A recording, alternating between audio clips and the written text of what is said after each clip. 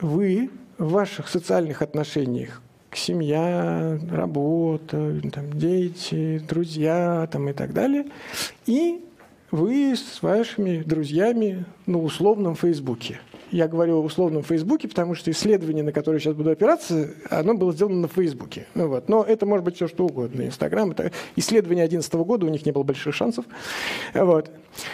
Значит, другие люди реальные, с которыми вы взаимодействуете, физически характеризуются количеством нейронов в вашей орбитофронтальной коре. Орбитофронтальная часть лобной доли, находящаяся непосредственно за глазами. Вот у вас там за глазами живут ваши люди. И если вы живете э, в, э, где там всего 50 э, человек в округе, то у вас эта орбитофронтальная кора будет меньше – чем у тех, кто постоянно коммуницирует там, с сотней людей, с двумя сотнями, с тремя сотнями людей там, и так далее, ну, в достаточно активном таком фазе. То есть непосредственно физиологический субстрат в мозге. А вот количество друзей в Фейсбуке, исследование 2011 года, подчеркиваю, поэтому они в каком зонах мозга увеличивается количество серого вещества? в височных долях. Я, ну, про, убейте меня, Бог, я не понимаю, что они там делают.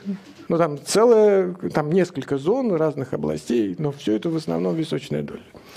Вот. А, то есть это вообще другие существа, это не люди.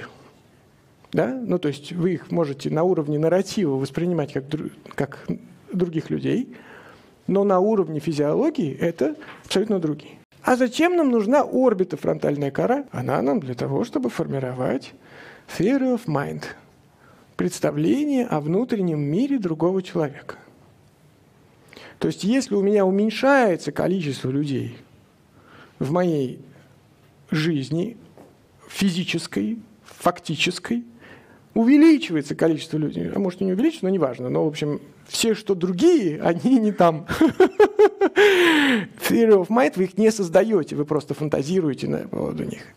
Вот. А для того, чтобы создать этих вот из э, орбитофронтальной коры с участием, вам там нужны будут и куча зеркальных нейронов, и куча считываемой информации и так далее. Всего того, чего нету, когда вы взаимодействуете с э, э, своими виртуальными собеседниками.